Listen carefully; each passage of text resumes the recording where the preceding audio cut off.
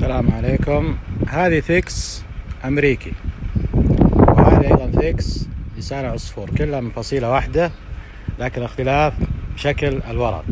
هذا شكل ورق الفيكس الأمريكي تأتي بهذا الشكل. وهذا شكل لسان العصفور أو فيكس ويسمونه فيكس. هذه لها لسان فلذلك تسمى لسان العصفور مثل لسان العصفور. وتتميز لسان العصفور بالتلامع وورقتها الناعمة وتتلامى مع الشمس كما نشاهد. شوفوا فتعطي شكل جدا جميل اثناء تعرضها للشمس. شوفوا شلون متلامعة. الفيكس الأمريكي فيه لمعة لكن أخف وأقل. طبعا هذه الشجرة عمرها تقريبا ثلاث سنوات. الحوض مرة صغير. لو كانت بأحواض كبيرة لأن كان نمت بشكل أكبر. علما أنه هذه الشجرة أو هذه سوف تغطي على كامل السور. يعني هذه ليست بهذا الشكل. دائما لما نزرع شجر نحاول نعرف شكلها النهائي سواء بالمشاهدة بالحدائق والشوارع أو عن طريق جوجل في الصور. نكتب اسم الشجرة لسان عصفور ويطلع لنا حجمها في الشوارع أو في تويتر تكتب اسمها.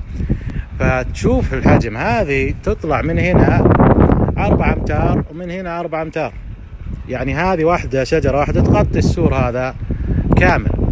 ولذلك الآن زراعتها متقاربة سوف تصبح يعني بشكل متشابك وممكن تقطع واحدة من هذه يعني مثل هذه مثلا. الآن هذا الباب باب جار. زين؟ الشجر هذه تطلع مو قاعدة كذا. تبي تطلع وتغطي باب الجار. فدائما ما تزرع هنا إلا شجيرات اللي عند الجيران ولا عند باب البيت. وفي الوسط تزرع شجرة واحدة كبيرة مثلا. لسان عصفور النيم اللبخ أي شيء بس خلها واحدة. هذا الآن بجوار الكراج باب السيارة ومدخل البيت وحاطين عندك الجاتروفة الجاتروفة هذه هذا طبعا متساقطة في الشتاء ترجع تورق. وهذا الجاتروفة هذا حجمه يعني. يعني تاخذ متر وترتفع إلى 2 متر وعندك عداد الكهرباء ما راح يسمحون لك الشركة إنك تغطيه فتقلمها ويكون شكلها جميل مدخل المنزل مع شجيرات تحت. من الورود. يعني هذا حوض واحد فقط متر في متر أو أقل من متر في متر. جمل المدخل البيت في شجرة مزهرة وشجيرات عطرية وزهرية في الأسفل. أو مثلا تحط لك الفل الفل أيضا من الشجيرات. أو الجوري هذا من الشجيرات. وهذه التفتيفيا أيضا من الشجيرات. ممكن تكبر بعدين تكون حجمها كبير. مع زهور الزينيا والبفتة مثل ما نشاهد. وكذا صار مدخل المنزل. ممتاز جميل وأنيق. في متر أو مترين فقط احوال أما إذا كنت بتزرع تقول أنا بزرع كامل السور بحب يكون سوري كله أشجار. فتحرص يكون مثلا هنا في سرو مثلا أو هذه شجرة الكابوك. هذه شجرة نادرة من أشجار القطن. هذه تطلع بشكل صاروخي عمودي. فما راح تأثر على باب الجار اطلاقا وهذه البافته جميلة. وهنا أيضا شجرة عمودية صاروخية لتوليب النيل.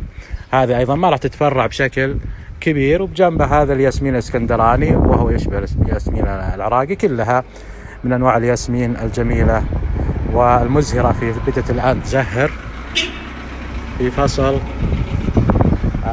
من فصل الربيع إلى نهاية الصيف وهي مزهرة وفواحة طبعا متسلقة هي زي المسواك. تتشابك كذا وتتسلق لابد أن أحط لها عمود هنا. شجيرات.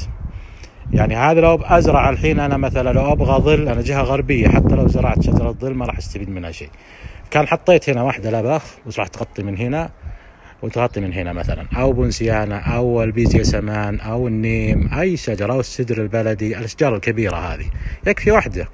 والباقي من هنا أخليه شجيرات جاتروفا تيكوما أشجار البفتة أشجار البتونيا جوريا فل ياسمين عرفت شلون؟ يعني متسلقات ست الحسن مثلا متسلقة الياسمين الأحمر خليها تطلع كذا. يعني يكون عندك شجيرات وشجرة شجرة أصلية ضخمة. هذه هي المظلة للسيارات واللي تحت شجيرات. حتى تقدر تزرع باذنجان وطماط هنا في الشارع مش المشكلة يعني. أشياء حلوة يوم أحد ياكل منها.